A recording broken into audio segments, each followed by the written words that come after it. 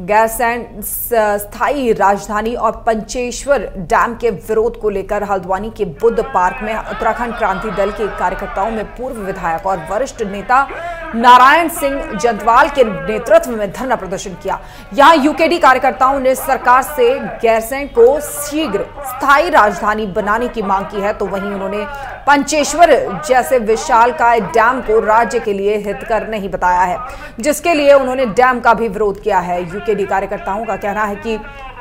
17 साल राज्य को बने हो गए हैं। इन सालों में राज्य में कांग्रेस और बीजेपी की सरकारों ने गैरसैंण को स्थायी राजधानी बनाने के लिए कोई कारगर कदम नहीं उठाए हैं। गौरतलब है कि जहाँ उत्तराखंड राज्य को बने 17 साल का समय हो गया है, वहीं इन 17 सालों में किसी भी सरकार ने गैरसैंण को स्थायी राजधानी बनाने की कोई ठोस कवायद नहीं की है, जिसको लेकर यूकेडी कार्यकर्ताओं ने अपने केंद्रीय नेतृत्व के निर्देश पर,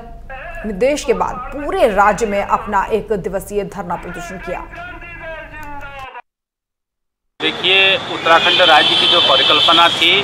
उपरांत उत्तराखंड क्रांति दल और उत्तराखंड की जनता ने राज्य लड़ाई के, राज्य के संघर्ष के दरमियान कैसा प्रदेश हो, कैसी यहाँ की नीतियाँ हो, और ख़ास तौर से राज्य सत्ता का जो केंद्र है, जो एक पिछड़ा प्रदेश है जिसकी भौगोलिक परिस्थितियाँ बड़ी दुर्गम हैं, उनके लिए कौन सी राजधानी हो? उत्तराखंड क्रांति दल ने जनता के साथ मिलकर गैरसैण का चयन किया था, ताकि पूरे प्रदेश का समग्र और संतुलित विकास हो सके और ये समृद्धशाली प्रदेश बने। और यही नहीं, उपरांत के साथ साथ उत्तर प्रदेश के तत्कालीन सरकार ने जो पाँच कैबिनेट मंत्रियों की एक रमाशंकर कौशिक समिति बनाई थी, उसने भी गैरसैण को राजधानी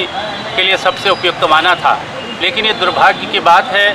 दिल्ली के इशारे पर काम करने वाली भारतीय जनता पार्टी और कांग्रेस की सरकारों ने राज्य बनने के इतने सालों के बाद भी आज तक गैरसैण को स्थायी राजधानी घोषित नहीं किया।